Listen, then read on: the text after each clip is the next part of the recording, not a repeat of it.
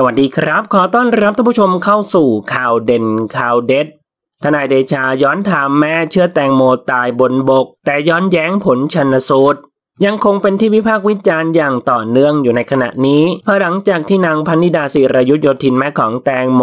ได้เผยว่าในโทรศัพท์ของลูกสาว ยังมีหลักฐานสำคัญทั้งรูปภาพและวิดีโอที่ถูกลบไป บางแจ็คสามารถกู้คืนกลับมาได้ร้อยเปอร์เซ็นต์แล้ว ซึ่งตนเองได้เห็นหลักฐานบางอย่าง จนพบว่าแตงโมเสียชีวิตบนบกไม่ใช่ในน้ำและหลักฐานดังกล่าวเชื่อว่าจะเป็นสิ่งสำคัญ ที่จะพลิกคดีจากอุบัติเหตุเป็นฆาตกรรม ตามที่ได้นำเสนอไปแล้วนั้น เกี่ยวกับเรื่องดังกล่าวล่าสุดวันที่ 29 พฤษภาคม ทนายเดชากิติวิทยานันได้แชร์ข่าวของคุณแม่แตงโม พร้อมทั้งแสดงความคิดเห็นระบุว่า ผลชนสูตรพลิกศพตายเพราะจมน้ำตายแม่รู้แล้วไม่ใช่หรือท่านผู้ชมนะครับ มีความคิดเห็นอย่างไรกับเรื่องนี้ลองแสดงความคิดเห็นกันเข้ามาดูนะครับ ขอขอบคุณข้อมูลจาก Daily News ขอบคุณครับ